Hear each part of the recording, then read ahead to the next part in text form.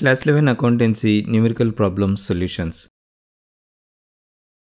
Presented by eduxir.com. In this video, we are going to provide bank reconciliation statement, unfavorable balance of passbook solutions. Problem 14 solution. The problem statement is as follows. Prepare bank reconciliation statement of Sri Bhandari as on March 31st, 2000 plus. 1. The payment of a check for 550 rupees was recorded twice in the passbook. 2. Withdrawal column of the passbook undercast by 200 rupees. 3. A check of 200 rupees has been debited in the bank column of the cash book but it was not sent to bank at all. 4. A check of 300 rupees debited to bank column of the cash book was not sent to the bank. 5. 500 rupees in respect of dishonored check were entered in the passbook but not in the cash book. Overdraft as per the passbook is 20,000 rupees. Before we proceed with the analysis of these particulars, let us first recap about why there is a need for reconciliation. By preparing the bank reconciliation statement, we get an idea about why there is a difference between the cash book and the passbook balances.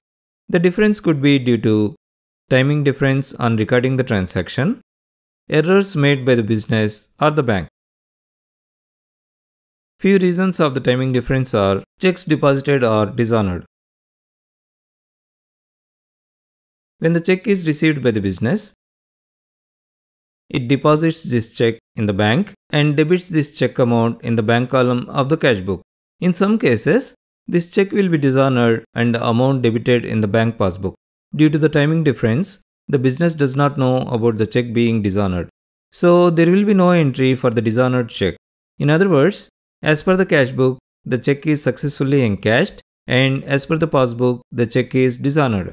The firm will know about this only after the bank statement is received. As a result, there will be difference in the passbook and the cashbook balances. There are other reasons also, but to limit the scope of these differences to this problem, let us consider only this one reason for timing difference.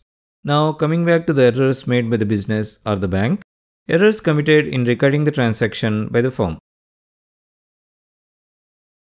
One of the errors could be due to the omission or wrong recording of transactions relating to checks issued, checks deposited, and wrong totaling, etc., committed by the firm while recording the entries in the cash book. This will cause a difference between the cash book balance and the passbook balances. Errors committed in recording the transactions by the bank. This is also due to omission or wrong recording of transactions related to the checks issued, checks deposited, and wrong totaling, etc., committed by the bank while recording the entries in the passbook. This will cause a difference between the cash book balance and the passbook balances. Now, with this information at our disposal, let us now proceed with the analysis of each of these details in the problem. As you know, we have to consider either the cash book balance or the passbook balance as the starting point for preparing the bank reconciliation statement. So, we have to consider the item at the end of these particulars as the starting point as it represents the bank passbook balance. Also, I want to reiterate that when there is any debit entry in the business cash book, the corresponding entry in the bank passbook would be in the credit side. Similarly, if there is any credit entry in the business cash book, the corresponding entry in the bank passbook would be in the debit side. We have to keep this in mind while analyzing these particulars. Here, it is given that the overdraft balance as per the passbook is 20,000 rupees. As you know, the overdraft balance in the passbook means that there is debit balance in the passbook. And we call the overdraft or debit balance in the passbook as unfavorable balance of passbook. So in this problem, the debit or overdraft balance as per the passbook is given and we need to find the balance in the business cash book. Let us first enter these details into the bank reconciliation statement. Let us first write the title as Bank Reconciliation Statement as of December 31st, 2000 plus. Let us have the individual columns for serial number, particulars, amount that should be added, and amount that should be deducted. Let us first write the particulars as overdraft as per the passbook. As this is debit or unfavorable balance in the passbook, we need to write this amount of 20,000 rupees in the minus amount column. That completes the recording of these details into the bank reconciliation statement. Let us now take up the next details. Here it is given that the payment for a check for 550 rupees was recorded twice in the passbook. So clearly, this is error committed by the bank wherein the check amount is debited twice. As this is an error committed by the bank, the additional entry will not be there in the cash book. So obviously, there will be difference between the bank passbook balance and the business cash book balances. So we need to add this amount to the passbook balance to get the cash book balance. With this analysis at our disposal, let us now proceed with the recording of these details in the bank reconciliation statement. Let us first write the serial number. Let us then write the particulars as payment of check debited twice in the passbook. Let us then write this amount of 550 rupees in the plus amount column. That completes the recording of these details into the bank reconciliation statement. Let us now take up the next details. Here it is given that the withdrawal column of the passbook is undercast by 200 rupees. This means that the passbook was debited with 200 rupees less. In other words, 200 rupees were not debited. For example, if the amount to be debited is 500 rupees, only 300 rupees were debited. So the amount that was not debited is 200 rupees. But the corresponding amount credited in the business cash book will be exactly 500 rupees. Anyway, this is just an example for your clear understanding of this statement. Clearly, this is an error committed by the bank. Due to this, obviously there will be difference between the business cash book balance and the bank passbook balances. So we need to deduct this amount from the passbook balance to get the cash book balance. With this analysis at our disposal, let us now proceed with the recording of these details into the bank reconciliation statement. Let us first write the serial number. Let us then write the particulars as withdrawal column of the passbook undercast. Let us then write this amount of 200 rupees in the minus amount column. That completes the recording of these details into the bank reconciliation statement. Let us now take up the next details. Here it is given that a check for 200 rupees is debited in the cash book, but it was not sent to the bank at all. So this means that the business has received a check from a customer or debtor. So this check amount is debited in the bank column of the cash book. As you know, when the check is received, it will be considered as a check if it is deposited in the bank on the same day. If it is not deposited in the bank on the same day, it should be recorded in the cash column. As this check is recorded in the bank column of the cash book, it is considered as check and should have been deposited in the bank on the same day. As it is not deposited in the bank on the same day, clearly this is an error from the business side. This means that this check amount was not created in the passbook as it was not at all sent to the bank. This will cause a difference between the business cash book balance and the bank passbook balances. So we need to add this amount to the passbook balance to get the cash book balance.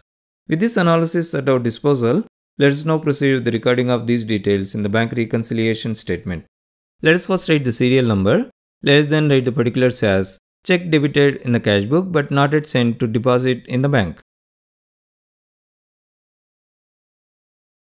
Let us write this amount of 200 rupees in the plus amount column. That completes the recording of these details into the bank reconciliation statement. Let us now take up the next details.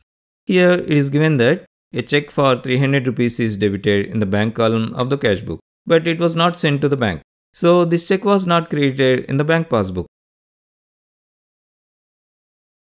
This will cause a difference between the business cash book balance and the bank passbook balances. So we need to add this amount to the passbook balance to get the cash book balance. With this analysis at our disposal, let us now proceed with the recording of these details in the bank reconciliation statement. Let us first write the serial number let us then write the particulars as check debited in the cash book but not yet sent to deposit in the bank. Let us write this amount of 300 rupees in the plus amount column. That completes the recording of these details into the bank reconciliation statement. Let us now take up the next details. Here, a check for 500 rupees was dishonored. As we have discussed in the recap, when this check is dishonored, it will be debited in the bank passbook. But the business does not know about this dishonored check until the bank statement is received. So this check amount will not be credited in the cash book due to the timing difference. So obviously there will be difference between the business cash book balance and the bank passbook balances.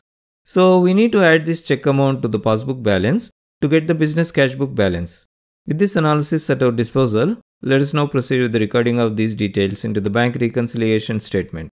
Let us first write the serial number. Let us then write the particulars as check dishonored. Let us now write this amount of 500 rupees in the plus amount column. That completes the recording of these details into the bank reconciliation statement. In fact, we have completed the recording of all the details into the bank reconciliation statement. The next step is to find the balance as per the cash book. Now the total of all the entries in the plus amount column is 1550 rupees and the total of all the entries in the minus amount column is 20,200 rupees. From 20,200 rupees if we subtract 1550 rupees we get 18,650 rupees. This is the cash book balance and now let's record this. Let's first write the particulars as overdraft as per the cash book. As we have started with the passbook overdraft balance, we need to write the cash book overdraft balance of 18,650 rupees in the plus amount column. Now the total of all the entries in the plus amount column is 20,200 rupees.